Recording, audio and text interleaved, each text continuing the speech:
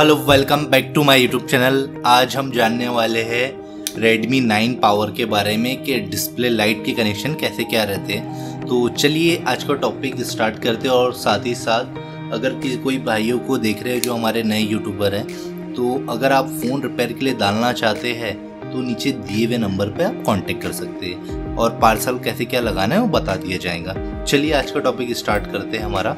तो सबसे पहले हमें तो ये जो दो कनेक्शन तीन कनेक्शन है, ये मेन है हमारे डिस्प्ले लाइट के। मान लो ग्राफिक्स आ रहा है लाइट नहीं जल रहे तो आपको ये तीन कनेक्शन की वैल्यू चेक कर लेनी है। अगर वैल्यू प्रॉपर नहीं रही तो डाइवर्ट कॉइल रजिस्टर वगैरह कुछ लगे हुए हैं तो वो चेंज करके आप देख सकते हैं, और या तो फिर उनसे नहीं हो रहा है डाइवर्ट कॉइल से चेंज करने से।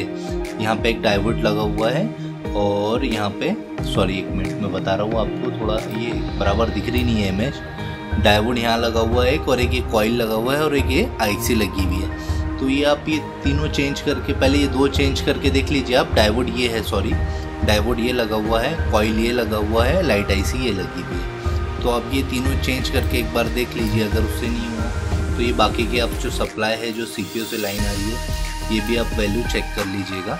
तो ये देख लीजिए आप, इस तरीके से कुछ डायग्राम है और वी वोल्टेज हमारे मेन पावर से आ रहा है, जो मेन पावर आईसी चार्जिंग से नहीं आ रहा है। चार्जिंग आईसी इसकी ये रही, यहाँ से नहीं आ रहा है। मेन पावर से वीसीसी वोल्टेज जनरेट हो रहा है डायरेक्टली तो आप ये वीसीसी वोल्टेज भी चेक कर सकते देख लीजिए कुछ इस तरीके का डायग्राम है।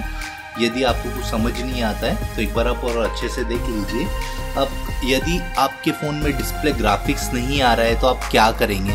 तो डिस्प्ले ग्राफिक्स के लिए आपको, डिस्प्ले ग्राफिक्स के लिए आपको ये ये पूरे वैल्यू चेक करनी है आपको।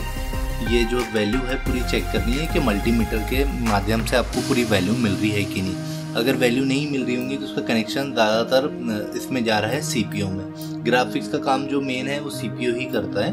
तो ग्राफिक्स लाइन आपको पूरी चेक कर लेनी है। कनेक्टर में ही चेक करनी है। कनेक्टर से हो जाएगा।